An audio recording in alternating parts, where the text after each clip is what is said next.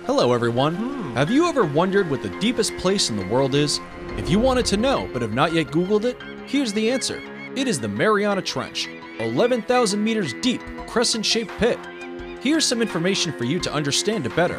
The top of Mount Everest, the highest mountain in the world, would be more than one kilometer away from the surface of the water if the mountain were located at the bottom of the Mariana Trench. Also, many small countries could easily fit in its 400,000 square kilometer area. Only four people have ever reached the bottom of this place. Today, we will join them and explore the seabed. The pressure in this place is incredibly high, so you can only dive using a modern deep submergence vehicle. So, imagine we're underwater. Everything is going well. We see fish swimming around in shallow water. We dive in deeper and reach a depth of 1,000 meters. It gets darker, and there are much fewer sea creatures. Along the way, we encounter mysterious creatures. These are viperfish. They have long teeth and an oblong body that reaches up to 35 centimeters in length. They do not enjoy sunlight, so they try to stay deep underwater and go up only at night. Let's keep moving. At a depth of 2 kilometers, there's not a single gleam of light. The sun just can't get through the water, so the vehicle can't move without lights. The headlights switch on, but there's nothing special to see. Another 500 meters, and we can meet the deepest diving whale. After another couple of thousand meters, the equipment starts to fail, and you can hear strange sounds coming from the outside. It means the pressure is increasing.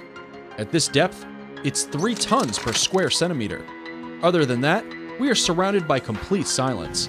There's almost no life around us, but in some places, we can find giant amphipods.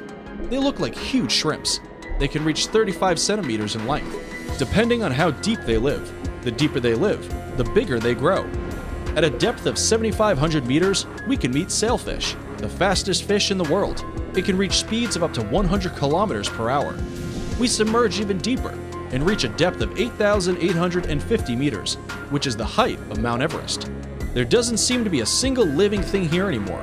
No wonder, because the water temperature here is a couple of degrees Celsius above zero, and the sunlight is far, far away.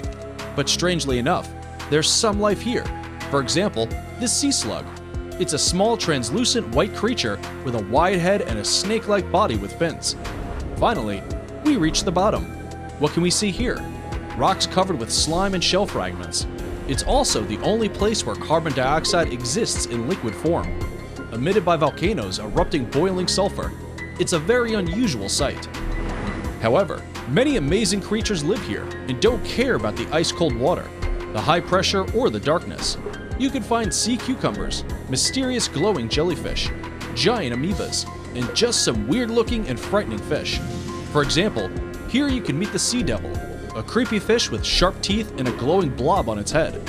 Female sea devils can reach a meter in length, so they look very frightening. Because of these creatures, there are many myths and legends about the Mariana Trench. Some scientists actually consider it could be home to spooky ancient monsters or other civilizations. Eternal darkness and the unknown make this place mysterious, and we may have to face something truly incredible. Anyway, who knows? But for now, you could subscribe to our channel and tell us in the comments if you know a legend about this mysterious place or a sea monster living here. This is True Story Channel. See you next week.